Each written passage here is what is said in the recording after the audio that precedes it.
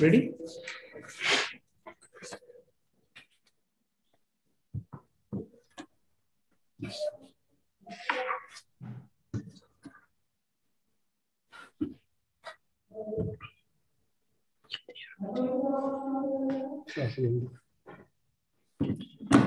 A very good afternoon to one and all.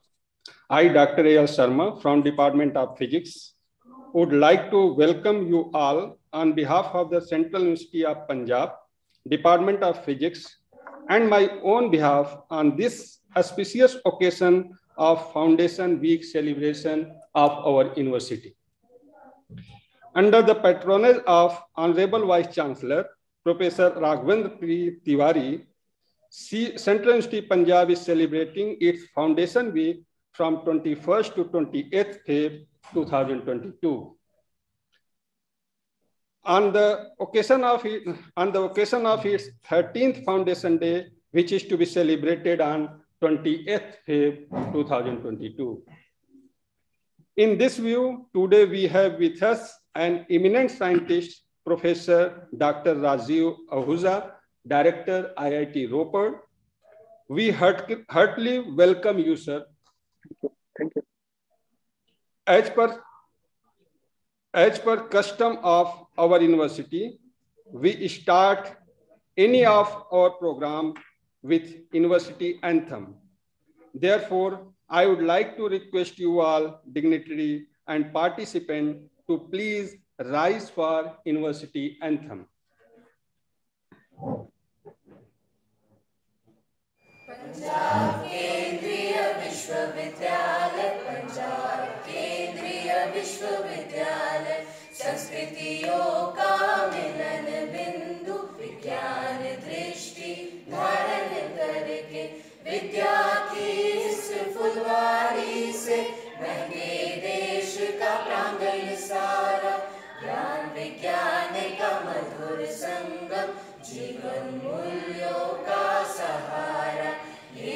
नवाचार का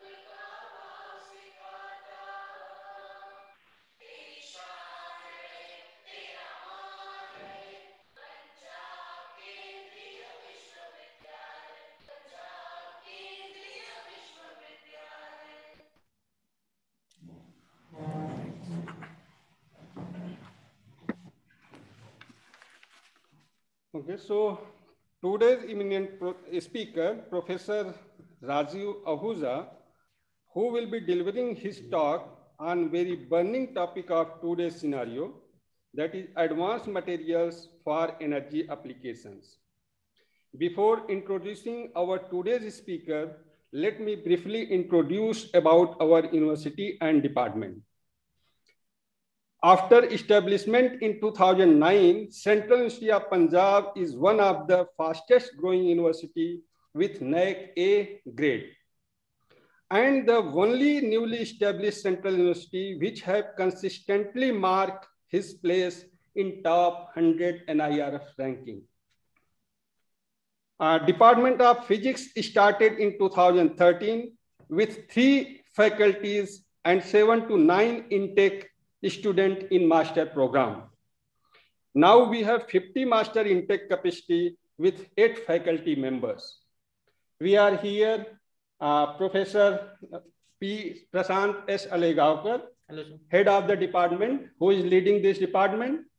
We are having Professor S. K. Sharma, associate professor in this department, myself, Dr. A.L. Sharma, assistant professor. We have with us Dr. Kamlesh Yadav, assistant professor doctor Ashok Kumar assistant professor doctor Kishukant assistant professor and doctor Saurabh Barua. So all are faculty here sir will all are welcoming you we all faculty members are involve in different thrust area of research like energy magnetism water splitting computational and experimental physics, etc.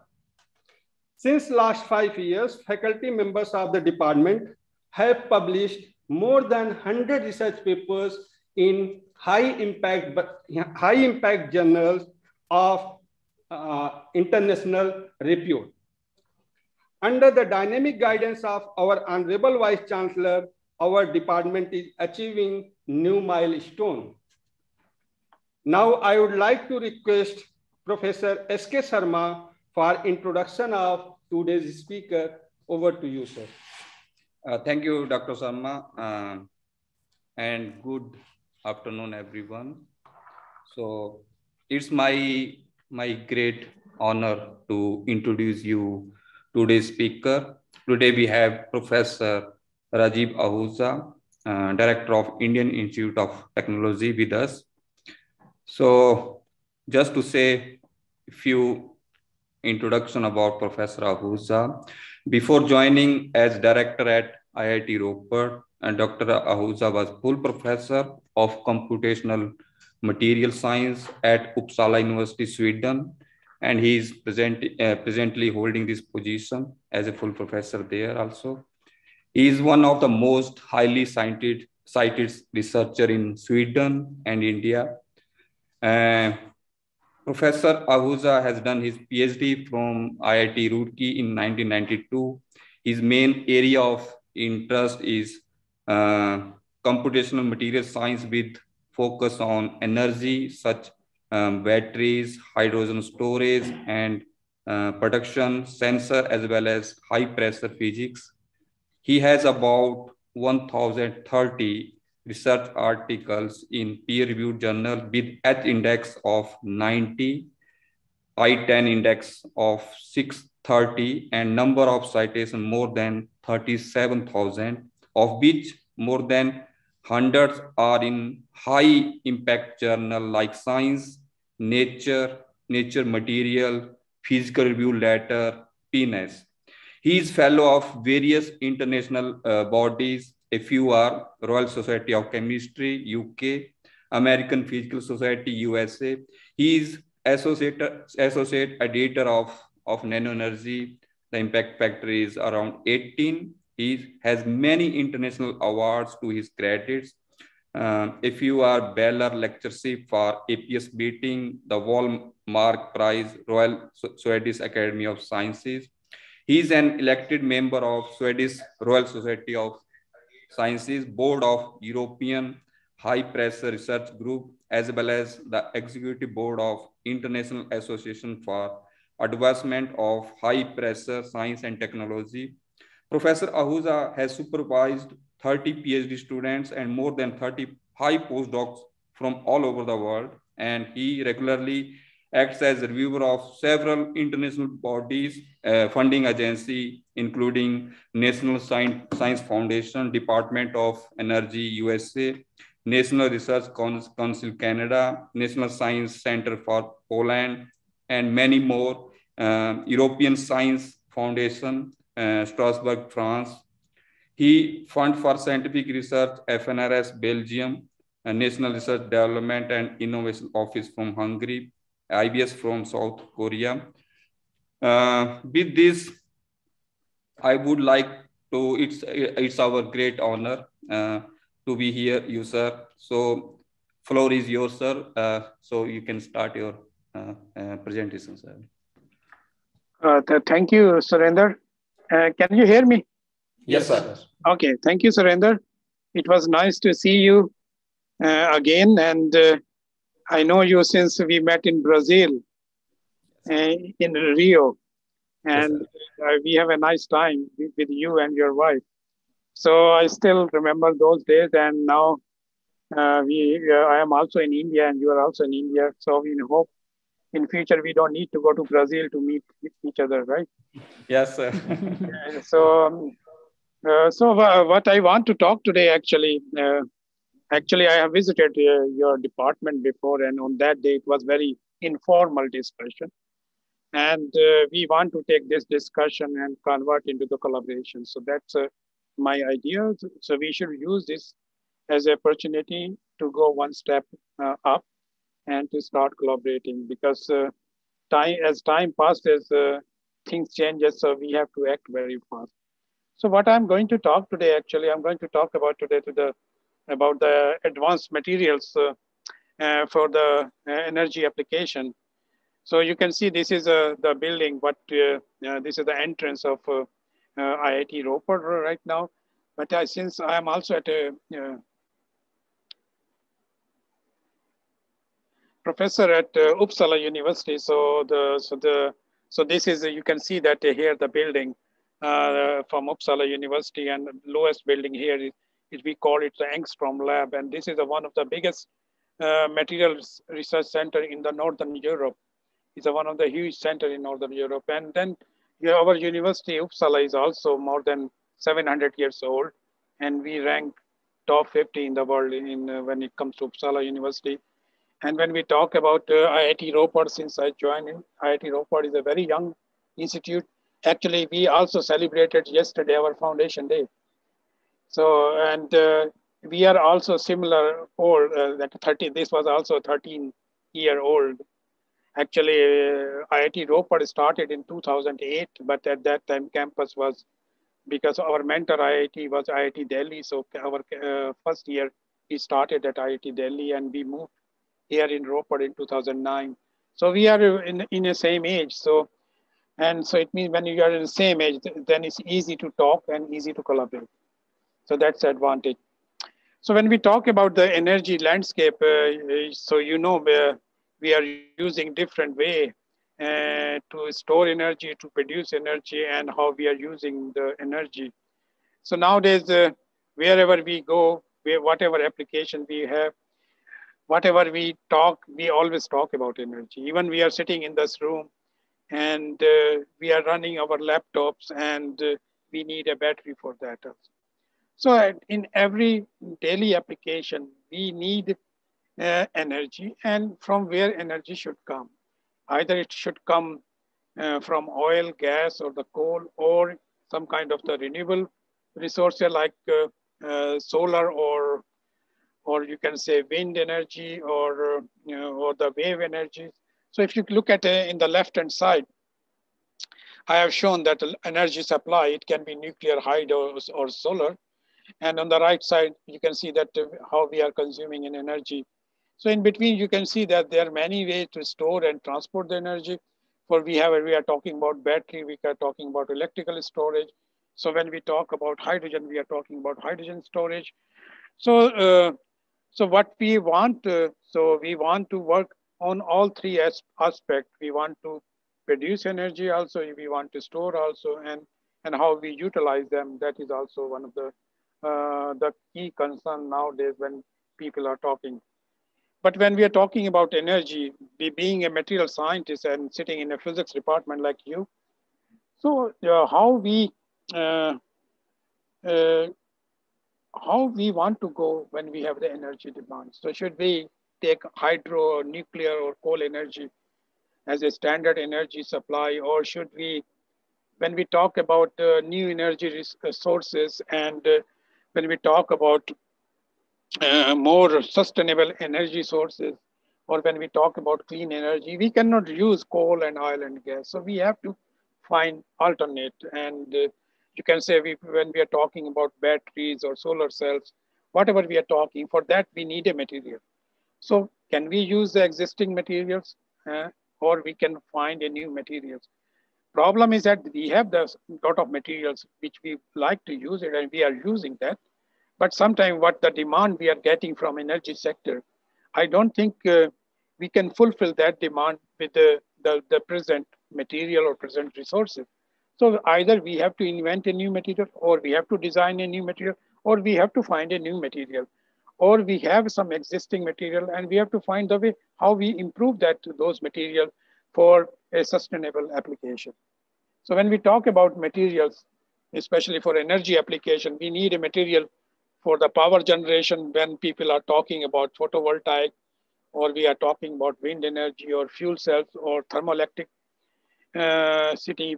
And when we are also talking about here the transmission. And if you look at that, uh, if you talk to anybody in Department of Electrical Engineering, they will, they will say that we have enough energy. We are losing so much energy in the transmission.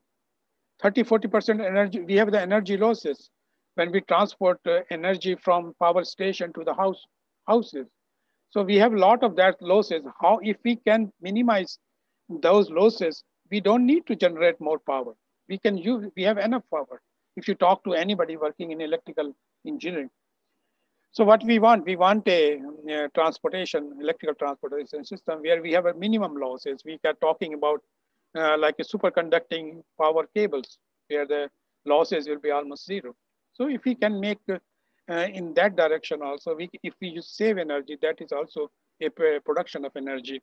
And same thing uh, uh, when we, we have a big transformer, so we should use uh, superconducting transformer to save, uh, save energy. And when we're talking about nowadays about the consumption, and you know that a few years back, uh, LED got Nobel Prize.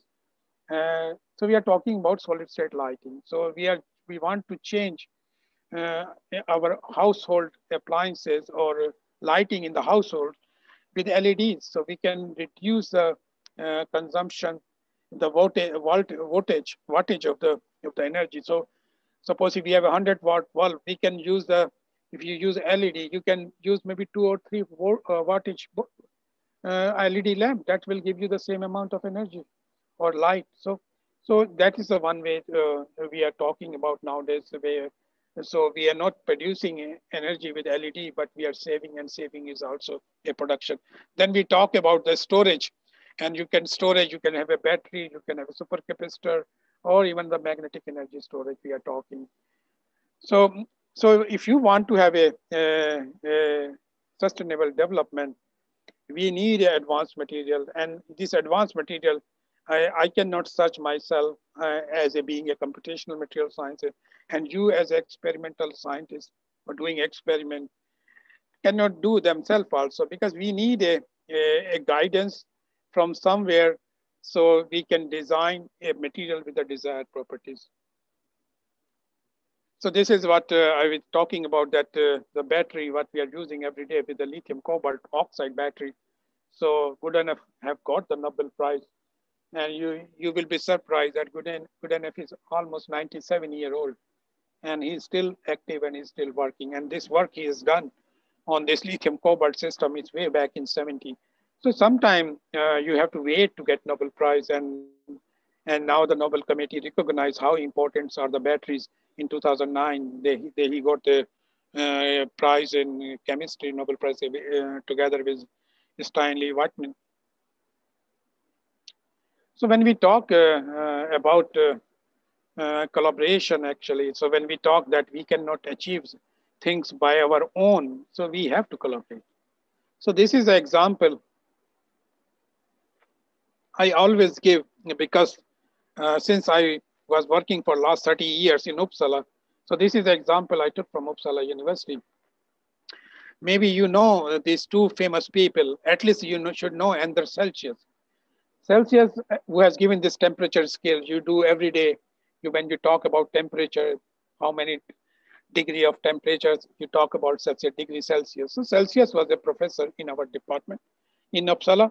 And the other guy on the left-hand side, his name is Carl von Linné if you are working in plants or botany, everybody know Linné. Linné is known as the father of the who has given the classification of the plants. Whatever classification of plant exists now, it was given by Linné. Linné was a professor of, of medicine in 1741. And you can see that uh, Anders Celsius was a professor of astronomy in 1730 in Uppsala. So one day uh, they have a meeting like like us like we are talking. At that time we don't have internet. And they once once they meet and then uh, Linné asked celsius uh, not celsius his first name is anders because in sweden we never called you by your last name we always call your first name. He asked anders i heard that you have a temperature scale. And i heard that you say that in temperature scale water is boiling at zero degree and melting at 100 degree and then he told Anders, uh, told to Anders, it, it sounds to me very awkward. why don't you revert your scale that the water should boil at 100 and freeze at zero? So Anders liked that idea and he reverted the scale. So this is, you can see that uh, he was from physics and the Linné was from medicine. When they talk and Anders get the idea and he reverted the scale. Otherwise, you will be right now, even today, you will be using the water is boiling at zero degree if this collaboration doesn't exist. So collaboration is nowadays is very important. And without collaboration, we cannot achieve the thing what we want to achieve because we are not expert for everything. Something you know better than us and something I know better than you. So we have to work together. And same thing in all faculties. If you go to, we have to collaborate on university level. We have to go to international level. So we have to work in a, in a collaborative mode. And the pandemic, uh, what we have seen in the last two years, pandemic has taught us that uh, if we want to survive, we have to work together. And nowadays, uh, collaboration is not that difficult because we can talk like I'm talking to you right sitting here. We can collaborate also in the, the same way. So, so distance is no problem right now. So when we talk about uh, energies, you can say that uh, uh, where the most of the energy demand coming and how will we are fulfilling the energy demand. So if you look at uh, in uh, right now, the situation is like that 80% of the uh, energy demand is fulfilling by either coal, oil, or gas. And the rest comes the hydroelectric, nuclear, or, or renewable sources. So you can see that the 20% uh, is only the rest. And, and the renewable is also a very small amount. So how we can change it so this big 80% or how we can reduce this 80% to maybe 40% and we should uh, put more effort on the renewable side and uh, develop more solution, more energy ways to generate the solution in a renewable way. So this is a big challenge. And, and uh, as I already told you that no one can achieve by, by their own. So there are many solution has been uh, proposed. And one of the uh, sustainable solution could be the, the hydrogen economy. So nowadays, uh, I can I can guarantee you, if you go anywhere in Europe, or even in India or in Asia, everybody want to go for a hydrogen. So all the European countries want to go for a hydrogen. So this is the alternate for their their thinking for oil and gas. And India is not also far behind. And this was the address of our Prime Minister Shri Modi ji, and uh, this was, was announced on the last, on 15th of August last year, on the Independence Day. And they are going to put, put almost 100 lakh crore in Gati Shakti scheme.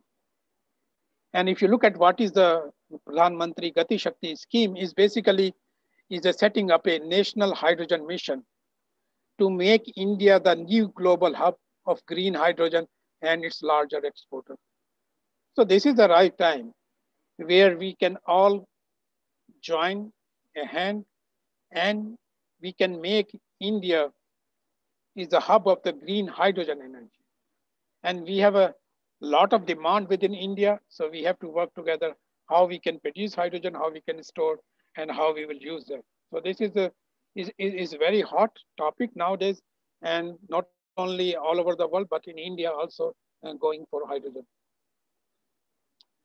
When we talk about hydrogen, you can say that uh, when we are talking about hydrogen economy, uh, is this is a new idea?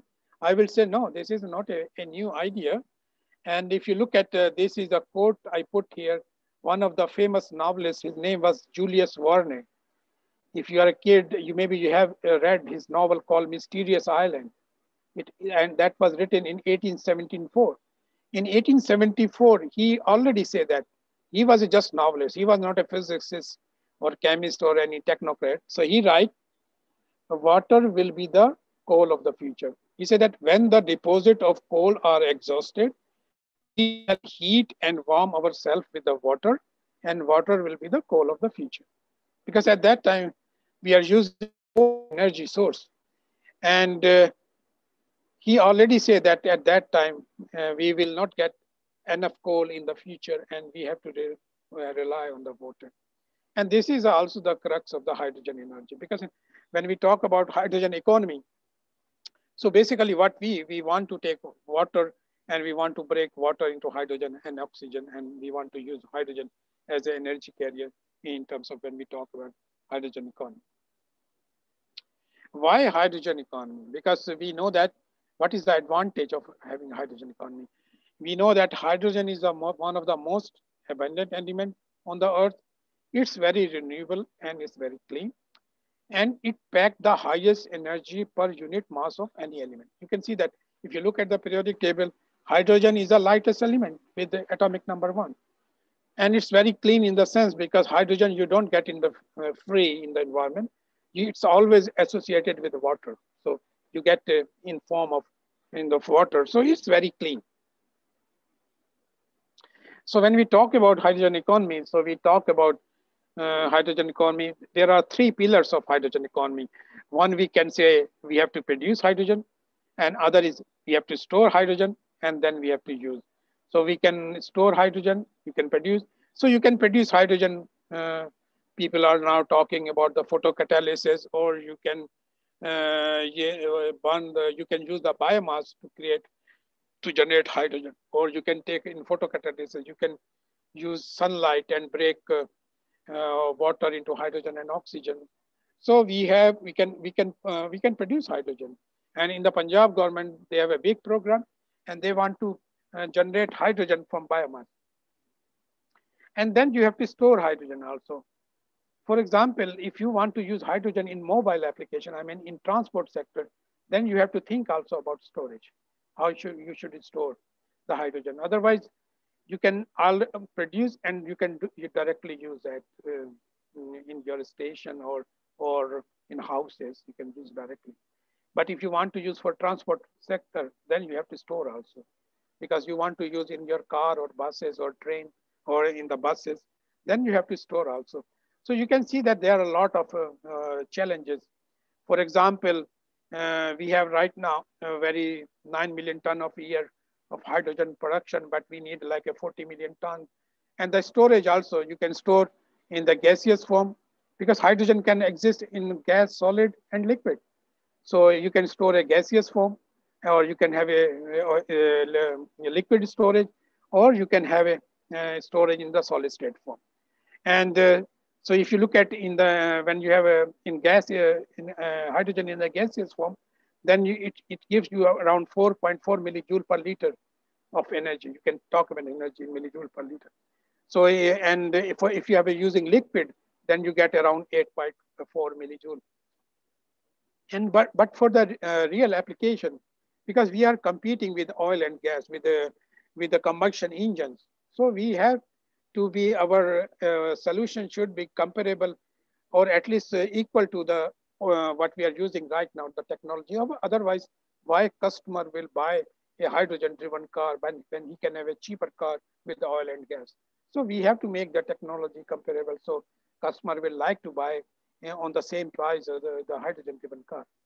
And then how we use, basically we use in the uh, hydrogen when we store, we can use the uh, uh, fuel cells so when we are talking about nowadays, Toyota has a model where they are using fuel cells. But problem in fuel cells also somehow it's expensive because in fuel cells we are using platinum as a catalyst. So platinum is uh, very expensive. So we have to find a new material or we have to find some kind of other catalyst which can be cheaper and we can cut down the cost of the fuel uh, fuel cells. So, so we have to work on all these three sectors. So if you, I'm not going to talk about production and storage and I will, uh, production and the fuel cells. So I will talk about only the storage and how uh, we can tackle the one issue at one time, the storage of hydrogen. For example, when we talk about uh, transport sector, so you, you, you, you have to see that we have to compete with oil and gas.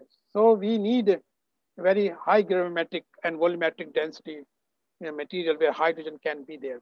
So if we want a good hydrogen storage material, it should have at least 20 or 15 to 28% of hydrogen in it. Otherwise, it's not viable.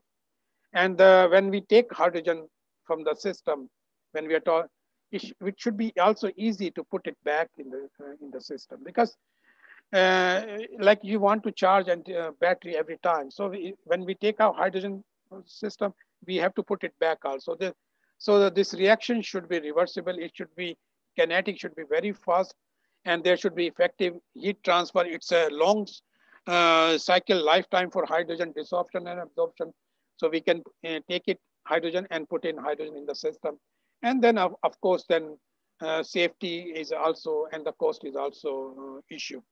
So when I'm talking this hydrogen storage, I'm not going to talk about uh, liquid or, uh, or, or gas storage. I'm talking about uh, solid state storage. So that was the requirement which I told.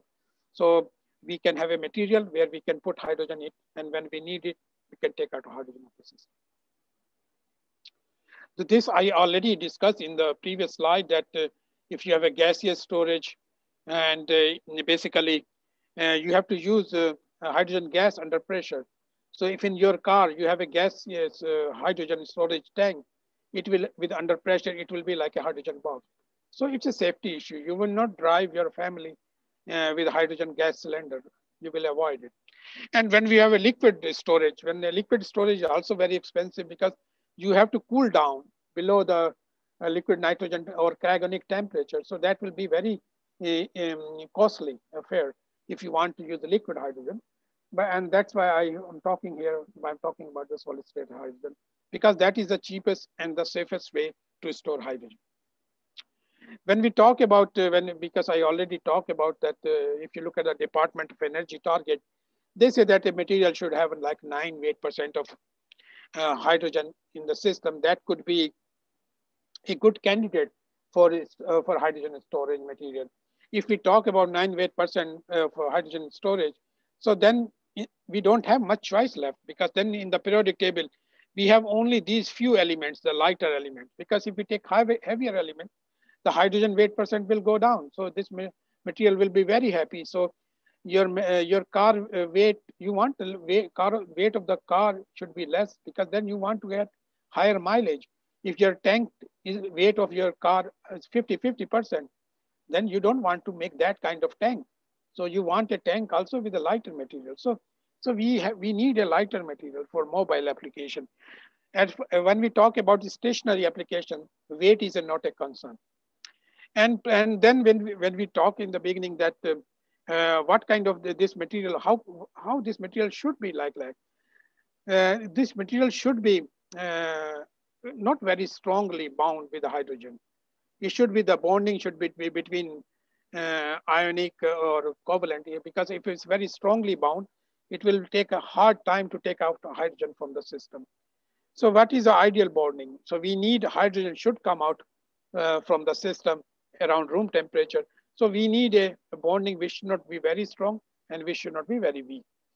And when we are playing, uh, being a computational um, uh, material scientist, we can play with those materials. And we can find the way if there is some existing material it's good material but the the desorption temperature of hydrogen is very high. So we don't need to advance any material. We can find a way how i can reduce the desorption in those materials. So we can play with the chemistry of the materials and uh, like uh, we can use the catalysis or we can use the nanostructuring so we can play with the material science materials and we can design a material in, for example, in computers, and then we can go to our experimental colleagues and to design those materials. So this is the periodic table I want to show that if you want to have a hydrogen storage, so you have to forget about actinides or rare earths or even, even heavy transition metals. So you have only SP system or in the beginning S system. So these are the lightweight system you can consider for storing the hydrogen. So when we talk about hydrogen economy, if you talk uh, what is a wish of the people who are working in the area of hydrogen economy, this is my wish. So I can have a plane, we can fill with the water, and then we go all around the world. So this is the wish and what people are working in the hydrogen economy. And it's very difficult to realize. So this is a, as I told you, this is a wish and we put it very high goal and we have to work those goals in a, in a collaborative manner to achieve this. so since uh, my background is a computational material science, so we are doing, uh, uh, uh, we will say, we are doing computer experiments in the compu uh, computer experiment. We are not doing experiment in the labs as you as experimental people doing. We are doing experiment in the computers. And uh, this is not easy to do computer experiment also because uh, when I tell you something, uh, or if I give you some number or I tell you something new material, and you will tell me how I can trust you. So we have to make a theory very accurate and very predictive. So my experimental colleagues can trust on me and they can take this as a forward and make a real those materials. So how I make our uh, theory so predictive. So we are doing the calculation. We are not doing model calculation. We are doing a calculation based on the quantum mechanics. So, but we are doing with the, we are solving the quantum mechanical equation with the help of supercomputers nowadays. And you can see that the field of this, um, when we talk about quantum theory and electronic structure, which is the basis of the computational material science, you can see that uh, this field is started by Planck when Planck has given his hypothesis. Then you saw the Schrodinger equation, uh, time independent equation, then it come time dependent equation and Dirac equation and big breakthrough came. And then in the meantime, also there are many different electronic structure method developed to solve those Schrodinger equation. And big breakthrough came when Walter Kohn has given the density functional theory in 1964. And that make the breakthrough in the electronic structure field. So we can solve the Schrodinger equation in a reasonable time for a very complex system. If we don't have a DFT, we cannot solve even hydrogen atom problem, single atom problem. So we should thank to Walter Kohn to make this. We, we are talking about now millions of atom uh, computation. We are talking about ab initio calculations. Is thanks to Walter, and he got a uh, Nobel Prize in 1998 for uh, density functional theory. So when we want to store hydrogen in a system, we can store a hydrogen in the system in two way. Either you can say in a Chemisorb way or a Physisorb way.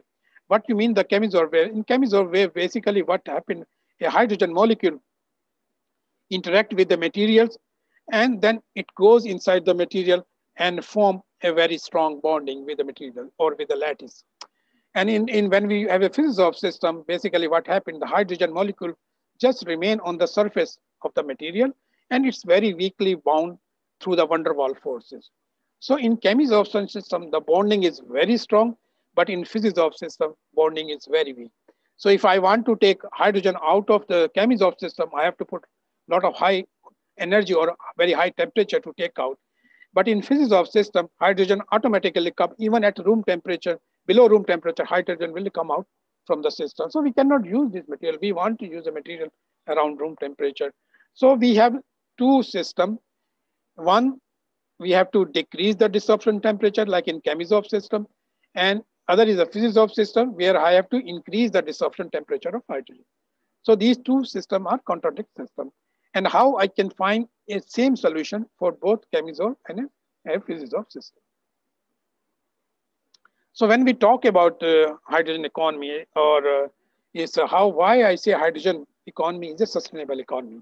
So we talk about the hydrogen cycle. Basically what we do, so we start hydrogen molecule, a water molecule. So you break water molecule into hydrogen and oxygen. Then we can store hydrogen in this box. And then we can use this hydrogen in the fuel cell and we can convert chemical energy to electrical energy. Then hydrogen come out and combine again the uh, uh, oxygen of the environment and form again water. So basically what you see, you start with the water and you end up with the water. So this is a very sustainable loop and hydrogen loop. So you start with the water. This is the most cleanest way to produce, to use the energy. So when we talk about hydrogen storage, you can uh, ask how, um, what kind of material I should use for hydrogen storage. Because I told you in the beginning, uh, if you don't want to use hydrogen for mobile application, then you don't have to worry about storage. But if you want to use for car, buses, then we have to talk about the storage issue. So if you take a car and if I want to drive this car 500 kilometers, So if I take hydrogen uh, as the gaseous form, so I need uh, this size of tank, the bigger tank. And here hydrogen is at 200 bar of pressure. And then I say, okay, I don't want to use high pressure hydrogen because it's like a bomb. I say I, I, I use the liquid hydrogen. So is the liquid hydrogen, if I want to use, you, I can reduce the size by further by factor of two, the uh, tank size. But again, you know that in liquid hydrogen, I have a problem that I have to cool it down. So I need a lot of energy to cool down hydrogen below the cryogenic temperature. And then if I use some kind of hydride, you can see that we can reduce further the size of the tank.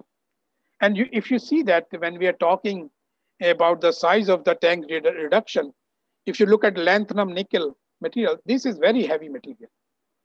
So the weight percent of hydrogen is very small in this one. So right now, when we are talking about the material for hydrogen storage, we are not talking of this kind of material. We are talking about light complex metal hydride where lithium, uh, sodium, aluminum, those kind of material, not lanthanum. Lanthanum is very heavy. So what will happen in this kind of material, like if you use a, a lanthanum nickel uh, uh, 5H6, the weight percent of hydrogen in this system is only two weight percent. So that's why the reduction is very low in the cell uh, tank size. But now we have a material where we can put up to 15 to 20 weight percent of hydrogen. So think about how much I can reduce the tank size. I can go one fourth of the size of magnesium, nickel, hydrogen for my tank size. So you can see the how far I can reduce the size of the my tank. And, and we always say that solid store, uh, storage hydrogen is the safest way and it's the cleanest way to store hydrogen. So, so we are working uh, on this direction. Uh, when we talk about these materials, these materials come in the class of the Chemisorb material. And you can ask, uh, do you have? We have a materials which can fulfill this requirement. Of course, we have many materials. Either we can, for good thing for us being a computational material science, we can uh, we can design a material, but it's very difficult for a, the experimentalist. Think about a new material with high weight percent and design them in the lab. It will take years. But when we do computer experiment, we can design any material with the, specific properties or we can use existing materials and we can try to improve those materials. And for example, if I take a material like lithium boron hydrogen 4, it can have almost 28% of hydrogen in the system. And, uh, but look at the desorption temperature when it's right, DEC 553 Kelvin. So it means I want desorption around 300 Kelvin because if I want to use this system uh, for a storage application, because I want hydrogen should come out from the system at, uh, at room temperature. So I cannot use this system as it is. So what I say, I can, okay, I can use this system and I can reduce the desorption temperature. Then I can use this system. And then computational material science start to play important role. So I can take this material and I can find a suitable catalyst or, or nanostructuring I can use and I can reduce this desorption temperature. And there are another material called uh, sodium alanate. Again, the problem is the here is the more than five eight percent of hydrogen, and the desorption temperature is 520 Kelvin. So again, here also I have to reduce the desorption temperature. So if anybody who start to working in hydrogen storage area, so they start with the sodium alanate and sodium aluminium H4. So this is the testing material people are working in the hydrogen community.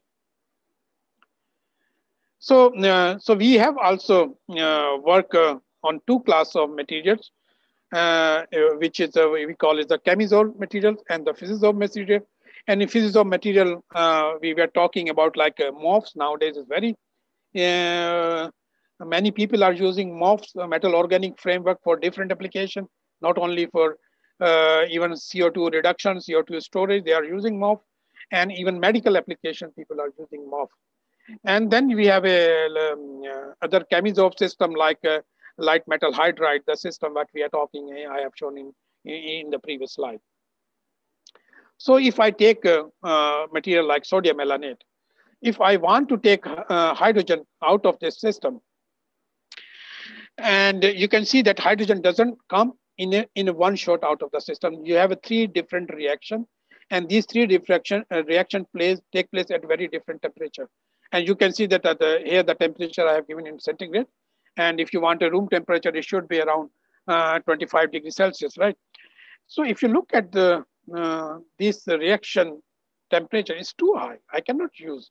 And further that these reactions are not reversible. So when I can take out hydrogen from the system, but I cannot put it back. So if we want to take this reaction reversible and how to make uh, this desorption low, that was the main task. Then some experimentalist people find that, that if they add titanium trichloride as a catalyst in this system, all of a sudden this uh, desorption temperature goes down and all these three reactions become reversible. And they were using titanium trichloride. And we say, okay, why titanium trichloride? And okay, my desorption temperature goes down. Can I find a new catalyst where my desorption temperature can go further down? Or I can find a better cat catalyst, even cheaper than titanium. Like if I make a catalyst with iron, that will be iron trichloride, but that will be much cheaper than titanium trichloride. So we looked uh, the whole periodic table and with that uh, um, ob uh, objective, and I can tell you I, I give here one simple example. I take sodium alanate, sodium aluminium 4, and I want to take one hydrogen out of this system. And if I want to take one hydrogen out of this system, basically I need around four electron volt of energy in the pure system. So now I say, okay, now I add the catalyst like titanium trichloride and I dope this material with titanium trichloride. And all of a sudden, when I now with the dope system, I want to take one hydrogen out of this system, this removal, hydrogen removal energy goes 1.9 electron volt. So 4 to 9, 1.9 electron volt. So I can reduce desorption energy by a factor of 2. Just I can half just using a catalyst. So what catalysts uh, do, and uh, we can explain why catalyst is helping. But catalyst is what catalyst is doing. Catalyst is making like titanium it's making the aluminum hydrogen bonding weaker. So I can take out hydrogen out of the system at low temperature. So then we screen a lot of catalysts. We don't want to take as a heavy catalyst because the weight is a concern. So I took some uh, uh, like a 3D transition metal and here I applied on y-axis hydrogen removal energy versus uh, different kind of catalyst.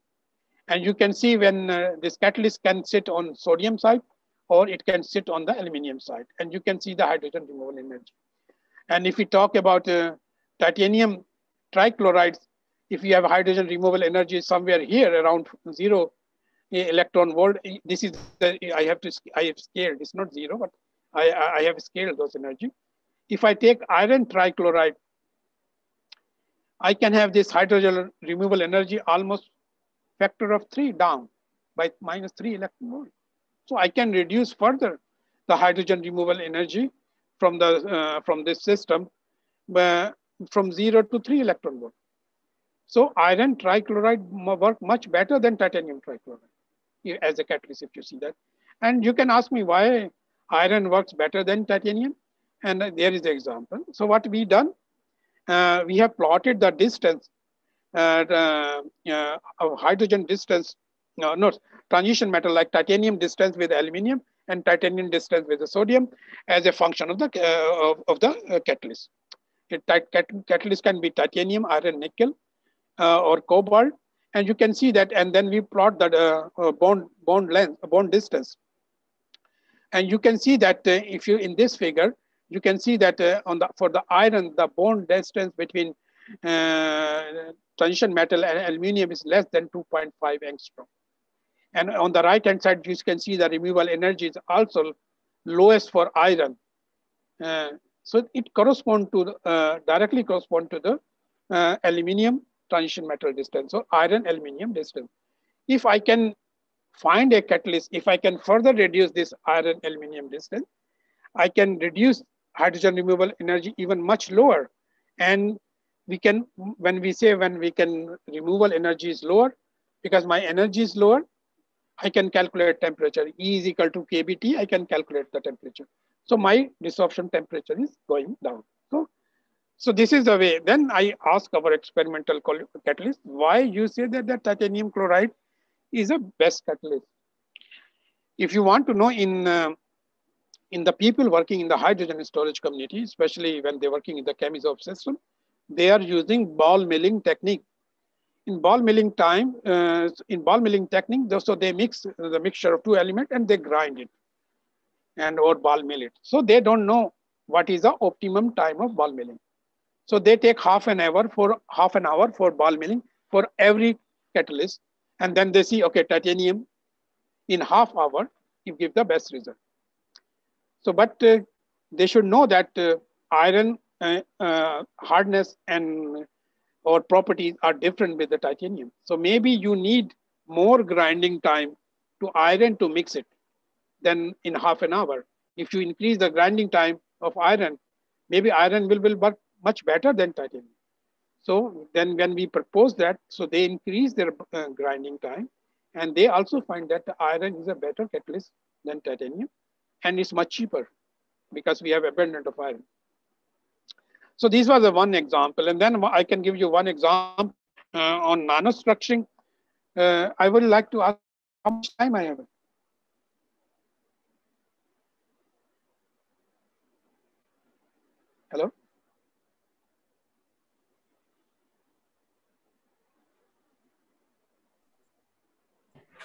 Sir, 10 to 15 minutes. Okay, okay, okay. So, so now take I take one example of nanostructure material, how nanostructuring can help to reduce the desorption temperature. So I took a simple example, and magnesium dihydride. Why I took uh, simple example? Because when you take a simple example, you can explain physics and chemistry very well. And then you, then you can take this to the complicated system and then you want to do this, we are doing computer experiment. So we need a, a computer experiment should be finished in, a, in our lifetime. So we want to take simple system and guide the simple system and to guide to experimentalists. Uh, nanostructuring can help or not. So look at the magnesium hydride. It's a very good system. Very, it can has a six weight percent of hydrogen in the system there are a lot of problems with this system also. The kinetic was not good, and is not reversible. So we uh, we started, okay, we can take this uh, material, bulk material, and we start the, uh, uh we make it a nano material and how we can reduce the desorption temperature or, and make these reactions reversible. So we, we done that way. And uh, we make a, a cluster when we uh, mimic the, the nanomaterial, we make a cluster and uh, we saw that uh, if you have around 100 atom, like uh, you have a magnesium, 30, 32 magnesium atom and 64 or that can be a good system test your hypothesis. And when then we make a model, uh, like uh, when we talk about model, model means not the model. I mean, uh, we have to make a structure of the uh, cluster, and then we solve those equations uh, quantum mechanically. So we make a cluster. We make a cluster with uh, magnesium 30, and then we add a catalyst on that one. Uh, like in this case, if we take one atom, we add for titanium, vanadium, and and this uh, and we have a hydrogen. And if you can see that uh, the hydrogen can be in three different sites, it can be in the center side, it can be on the surface, and it can go on the edge also of the system. And then we done what we done. Uh, I will not show go in detail. And what we done, we done the similar kind of simulation. And we say that uh, is nanostructuring is helping me or not? And or the what we have used catalysis plus nanostructuring is helping me or not? And to reduce the desorption temperature. So we took one example. And if you look at in this figure, if you take a, a pure system, MgH2, and you do nanostructuring, actually, and then you took a hydrogen out of the system uh, from the center edge or surface, it, uh, it requires the same amount of energy to take out hydrogen in the system. And if you look at uh, this green line, actually, I need my hydrogen desorption energy in that range if I want to use this system for a mobile application. Then we try to put uh, this thing, different kind of catalysis like titanium, vanadium, iron, and nickel. And you can see that desorption energy goes down when we use nickel as a, capital, uh, as a catalyst. And nickel can go, um, this hydrogen will be in three different situations. And you can see that uh, uh, nickel is a, one of the best catalysts here in case of this one. And if you look at the, this is, we try to compare with one experimental data. And if you look at the absorption peak, absorption peak of hydrogen in this system, in pure hydrogen, uh, magnesium dihydride, is it, it is around 400 degrees centigrade. But if you use a different kind of uh, catalyst, if you use a nickel nano or nickel micro, nickel uh, nano, you can see that the desorption can reduce from around 350 to almost 250 degrees centigrade. So you can see that here also the work, uh, catalyst work to reduce the desorption temperature. So you can shift the desorption peak of hydrogen in this system also uh, by, by 100 degrees centigrade. So again, the nanostructuring doesn't help that much, but the catalyst again help you to reduce. And the last example I want to take as a physics of system is a metal organic framework. So we have a many class of metal organic framework. And uh, so basically you have a, here you have an organic framework and it's, it's like a porous materials. You have a lot of pores where you can put hydrogen in. And then when you want, you can take out hydrogen out of the system. So we took one of the uh, simple example in this case, we took the, we call MOF5. And problem was this also that hydrogen come out from this system at very low temperature. Uh, already 77 Kelvin, all hydrogen come out from this system. So here we have a different problem that here I have to increase the desorption temperature. So hydrogen should come out around the room temperature. So what we done, we done the same technique and we apply, uh, we use catalyst here also. And then we use uh, lithium here, lithium trichloride kind of catalyst or lithium uh, I didn't use lithium trichloride, but I use lithium. Why I use lithium? Because lithium is very light. So my weight percentage of hydrogen will not go down if I use lithium. If I use a heavier catalyst, my weight percentage of hydrogen will also go down. And then we decorate this system. And uh, then we have uh, done the molecular dynamics kind of simulation. And we have pl plotted the pair distribution function. And I can tell you that uh, if you're looking this pair distribution function, and uh, uh, I can increase the desorption peak uh, or I can reduce the desorption peak to the higher temperature side. for example, if I, when I decorate with the lithium, my, my weight percent little bit goes down because before we have a hydrogen, now we have a lithium. Lithium is a little bit heavier than. So you look, look at that at the ambient pressure, uh, at ambient condition without any catalyst. Uh, for example, this is I just some example. Uh, hydrogen weight percent in this system is around 3.58 percent, 3.58 percent. But the desorption was 77 Kelvin. But now I can you can see that I have written here. I can increase the desorption temperature from 77 Kelvin to 200 Kelvin. But I still can have 2.9 weight percent hydrogen in the system temperature to 300 Kelvin where I want, but still keep 2 8% of hydrogen in the system. So we have a many COF where we can have a 20 8% of hydrogen in the system, no worry. Why I took this system only 3.58%? Because this is the smallest system in the category of the MOF. So uh, if we take a complicated MOF, bigger MOF, I can have a weight percent of 10, 20 weight percent is no problem. So what idea, what I was showing that here also catalyst can use to increase the desorption temperature. And now GM Motors has a big program. Before they want to go for a Chemisorb system, and now they find out that it's very difficult to decrease the desorption temperature, it's, but it's easy to increase the desorption temperature. So they want to go for a Physisorb system for especially for the uh, mobile application, but especially for the cars for the future. And with that, I would like to stop here. This is, I want to uh, acknowledge my collaborators and, uh, and our funding agencies. And I would like to thank you, all of you, uh, for your time. And thank you very much.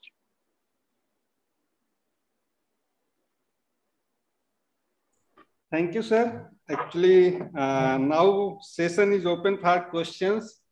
If anyone have, please. Uh, sir, what are the prospects for transition metal dichalcogenides uh, for hydrogen storage? You know, nowadays uh, we are talking about uh, this, you are talking about 2D materials, right? And these are all transition metal dichalcogen, MOS2. And so we are not talking about nowadays bulk. We are all talking about 2D dichalcogenides. And 2D materials has a very good prospect. And uh, these are a layered materials. So we have a very big surface area to attach hydrogen. So people are working for hydrogen storage also for the uh, transition metal dichalcogenide uh, in terms in, when we talk about 2D materials. And not only di transition metal um, dichalcogenide, but other 2D materials like uh, graphene-like materials, silicene, phosphorene, all these germane, they want to use also for hydrogen storage, as well as the photocatalysis. Okay, sir. Sir, what about uh, such type of ionic salts like NaCl or KCl? Because then uh, this uh, sorption process will be easier. Means just as a base, initial base. Okay, okay, but uh, I have not seen any work. But uh, people, if you look at the organic chemists, uh, in uh, and because we, when we were talking about inorganic, they were just talking about the lighter uh, hydrides only, the complex metal hydride or the chemical sense.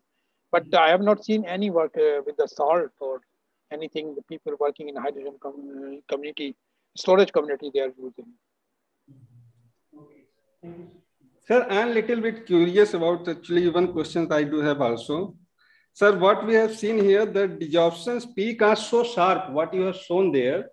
Uh, desorption peak are but uh, my little uh, curiosity is that uh, especially in India, geographical scene is, especially its uh, temperature variation is around 75 to 80 degrees centigrade. So if suppose something we are going to create such types of device of such a uh, specific temperature of desorptions. No, no, no, no, no, no. We are not talking. I say ideal material is that where desorption is around room temperature. So it can be 40 degree also. I didn't say that. That uh, because we don't want the desorption should be 70 degrees centigrade. Because then you have to heat your system. Otherwise, how hydrogen will come out? right? So, and that sharp desorption peak, uh, because that is the simulation, it's not a, it's an experiment. So this is a calculation. So in calculation, if you plot the pair distribution function, you can smooth in with the Gaussian, you can get a, and not very sharp, you can get a very smooth one like that. Okay. And uh, desorption, uh, I think if you can give me a material, even 40 degrees centigrade, I will love it to have that material. Because now problem is that that's why people forget about uh, the Chemisorb system because desorption is very high. And in the Physisorb system, it was very low. So they want, when we say room temperature, like uh, if you go to the European countries, I don't think temperature will go up uh, maybe in summertime also like 30 degree, right? Not more than that. And in Indian, in, in Indian contest also, it doesn't go more than 40 degree uh, in the summer peak time, 40 degrees uh, Celsius. That's very rare. So we are around 30 degree. So when we talk about room temperature, we are talking about 25. When I say it should be around uh, room temperature, it doesn't mean that it should be exactly 25 because uh, uh, the material should be in that range. So I need less amount of energy to take out of the hydrogen from the system. So that's the only idea. If it's around room temperature, then I need even less energy, right? So that's the only the idea. It should not be exactly 300 Kelvin or 25 degrees centigrade. So can the hydrogen be intercalated in the, like the interlayer spacing in the 2D materials? Yes, yes. Like but yeah, yeah, yeah. Because in the beginning, that was the idea when these nanotubes came in the picture and nanomaterials. So they want to use this pore and it put the uh, intercalate or you can store in the between the layer. Problem was that uh, hydrogen is very nasty. It, it stick with the material and it's bound very strongly. So you can put it much, but when you have to take out, then you have to put a lot of energy to take out of the system. So that's uh, one of the issues. But this kind of problem can be solved uh, by uh, by defect engineering also, I can tell you. What can I do with the catalyst? I can do also with the defect I can tell you in hydrogen storage, defect material is much better than pure material okay. because those defect work as a catalyst and that will help also reduce the desorption temperature. Sometimes you don't need a catalyst. And when uh, even you talk experimentally, when they say titanium trichloride is a good catalyst, I don't believe in them. Because what they are doing, they are doing ball milling.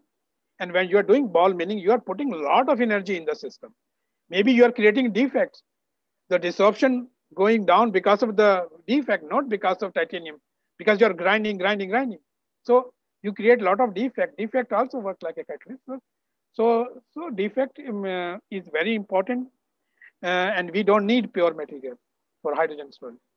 So, so then alloys of TMDCs might be a good idea? Yeah, it will be good. But you have to be careful. If you want to use for mobile application, you have to use the lighter one. Because if you do the heavier one, then you will have issue of weightage problem.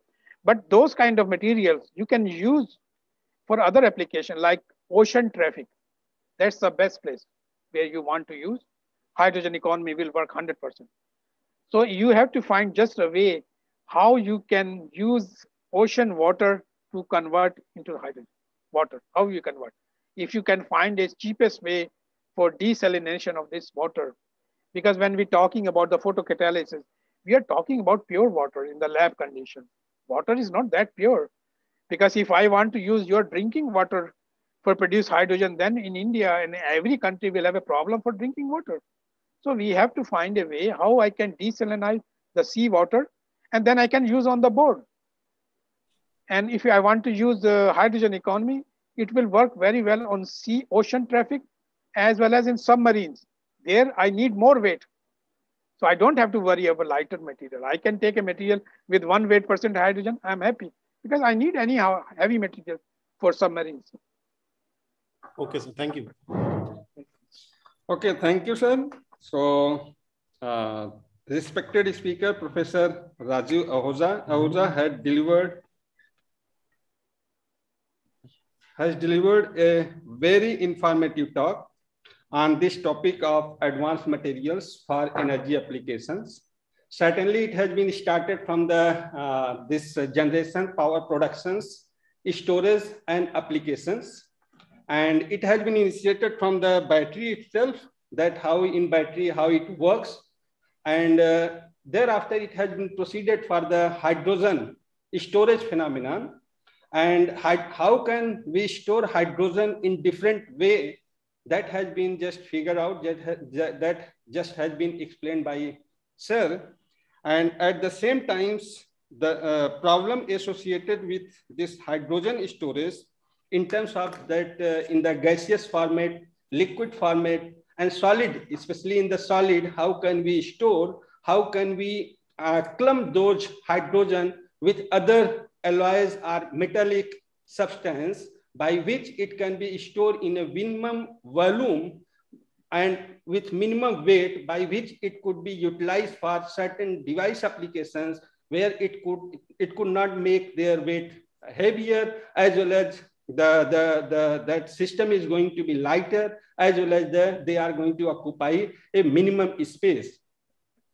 At the same time, sir, you have actually just discussed with us not like a, that you are a speaker at that time that time you have discussed friendly with us that we have asked so many questions and maybe that questions may not be at that level but we have asked and you have just uh, rectified it and you have just explained in a very uh, very you can say pleased manner so thank you for sir all these such types of uh, answering the questions what we have asked uh, lastly actually i would like to thank uh, patron of session, Professor Tiwari sir, who is our motivation and source of inspiration behind this series of webinars.